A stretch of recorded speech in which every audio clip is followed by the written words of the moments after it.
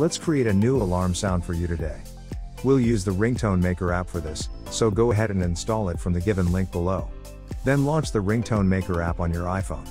Tap on the Ringtone Maker tool at the top. From your library, select the music you wish to make an alarm sound from. An inbuilt audio trimmer will appear. Cut the music anywhere and keep the portion you want as your tone. Rename the audio, if necessary. Then click Save.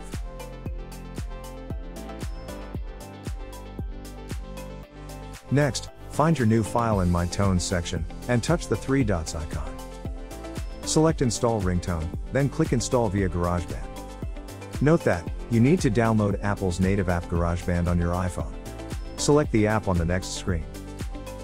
Find the new tune, then touch and hold to view the menu. From there, select the Share option, click Ringtone, and then export to create your custom alarm sound.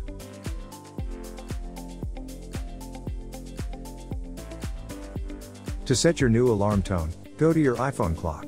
From the alarm menu, tap the plus icon at the top right corner. Set your alarm schedule, then touch the sound option from the menu. From the list, select your new alarm tune.